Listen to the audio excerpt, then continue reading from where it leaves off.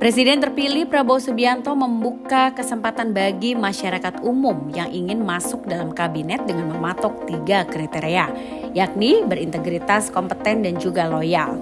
Hal ini disampaikan oleh juru bicara Prabowo, Daniel Ansar Simanjuntak, ketika ditemui oleh awak media usai acara deklarasi ormas dan juga pengukuhan pengurus besar Matahari Pagi Indonesia di Jakarta pada Sabtu 28 September.